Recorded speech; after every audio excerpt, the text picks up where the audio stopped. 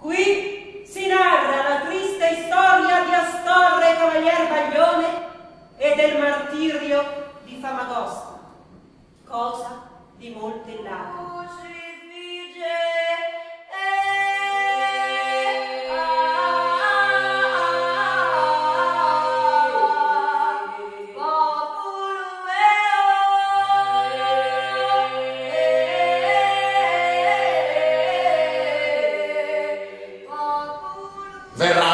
Soccorso.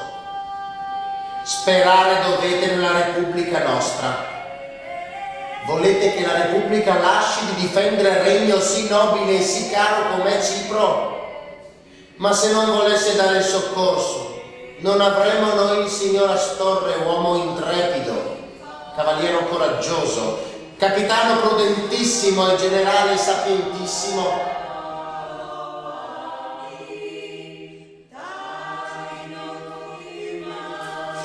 anche se io sono Ginevra del nobile sangue dei Salviati. Non sono riuscita a salvare il mio Astorre.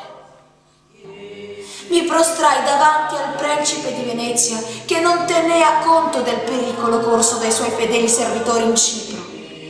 Sarei andata io che non temea per amore del mio sposo Astorre quei mostri orribili della guerra, del mare, del turco sarei andata io se mi fosse stato concesso il modo.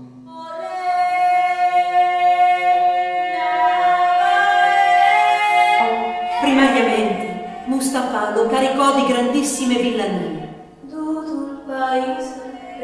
Ma egli non si risentiva. Poi gli fece tagliare gli orecchi Egli Lo fece ignudo condurre nella piazza e vivo, vivo, o caso umano, lo fece scorticare